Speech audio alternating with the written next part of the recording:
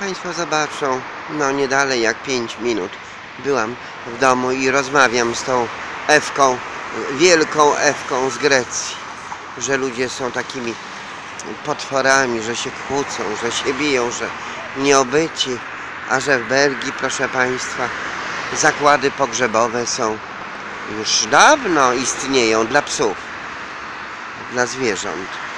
A tutaj ludzie nie mogą, proszę Państwa, się pogodzić. Jak jadę, proszę Państwa, za Oszą Wilerskiej, mówię te twarze takie niezadowolonych typów takich. mm, Myślą, że Pana Boga za nogi złapali diabła za ogon jak ci w bibliotece Uniwersytetu Warszawskiego. Siedzą i gadają, ha, ha, ha, ha, ha, ha.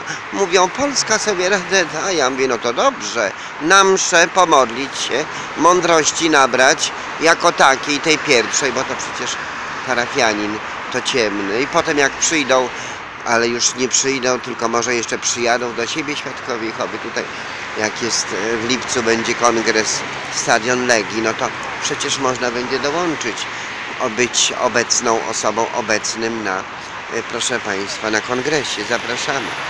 O, i dojadę do wschodniego, do kantorku. Trzeba do kantorku. Do kantorku.